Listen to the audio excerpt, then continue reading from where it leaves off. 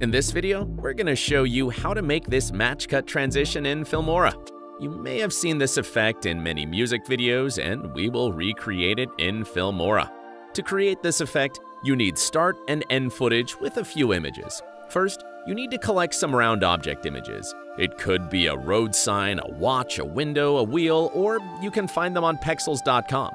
Then, open all the images in Photoshop, create a new layer, and make a circle in the center, and reduce the opacity.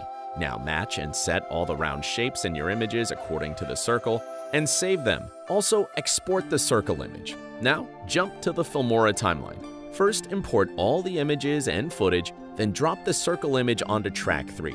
Then drop your start footage onto track 1. Now adjust the video position and scale according to the circle. Then add your images to the timeline. Keep it 5 frames long only, and adjust according to the circle image.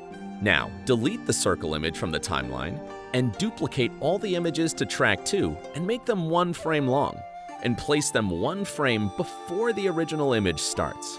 Now select the first frame image and go to the mask. Select Circle Mask and create a mask around the circular object, and then invert the mask. Now create a mask on the rest of the one frame long images. Then at the end, place the second footage. Now to create a blur, go to the Effects. Then under the Boris Effects folder, you will get Directional Blur Effect. Apply it onto track 3 and adjust the blur effect on the images only. Now, use the Custom option in Effects Mask and create a mask around the round shape.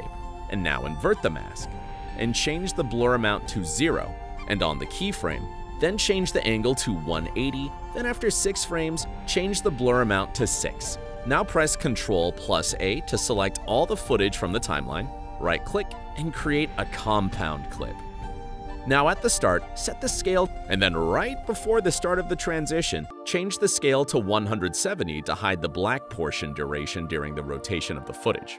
And on the rotation keyframe, then after 5 frames, set the scale to 210. Then at the end of the transition, set the rotation to 360 degrees, and add a blank keyframe for scale. Then after 15 frames, change the scale to 110. Now add music to the transition, and to add some sauce to the effect, apply audio-driven effect Auto Zoom Shadow. Then for color adjustment, use the adjustment layer.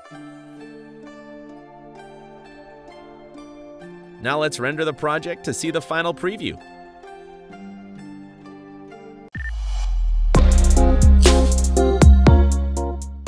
That's it. Download Filmora now and take your editing skills to the next level. See you in our next video.